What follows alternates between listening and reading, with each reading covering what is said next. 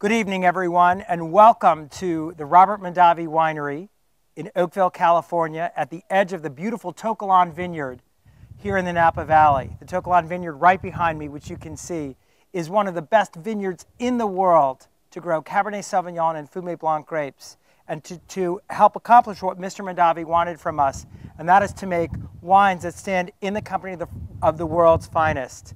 This evening, we're here to toast Mr. Mondavi's 90, what would have been Mr. Mondavi's 99th birthday.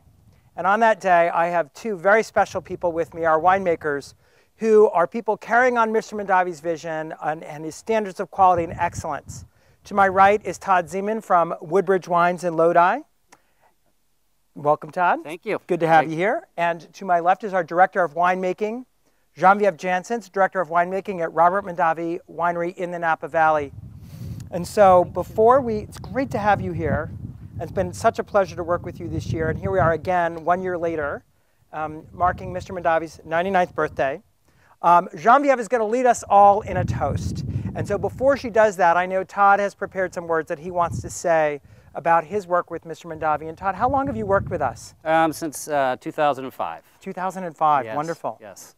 So Mr. Mondavi's vision was to put great California wine on every family's table. Um, I'm proud to carry on that legacy at Woodbridge some 33 years later. That's, that's fantastic. Three decades later.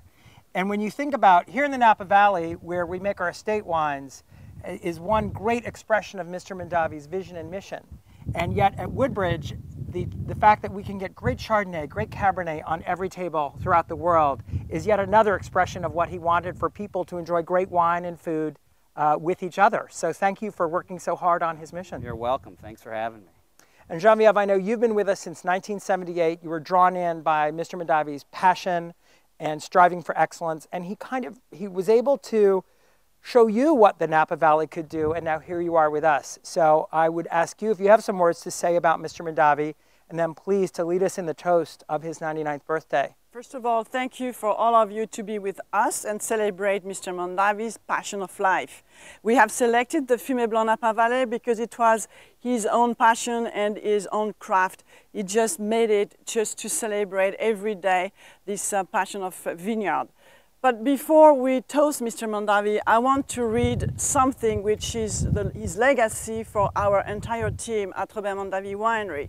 So what he said about his passion is, in 1966, I began with only a dream and a vision.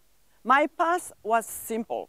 Follow your passion, pour in your heart and soul, settle for nothing less than excellence, and with enough hard work and faith in yourself, you can realize your dreams. And here we are here, absolutely the entire Robert Mondavi winery team doing exactly what he was telling us to do.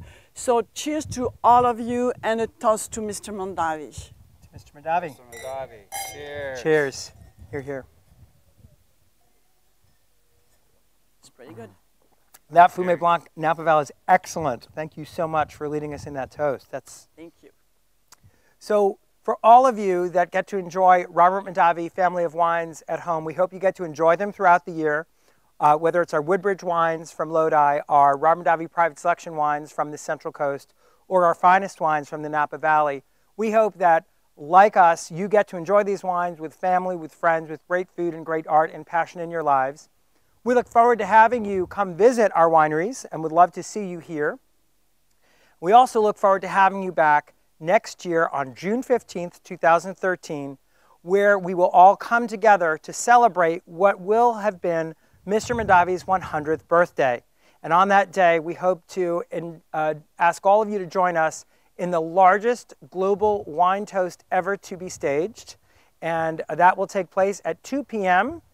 California time on Saturday, June 15, 2013. So now you all know where you will be next year at this time.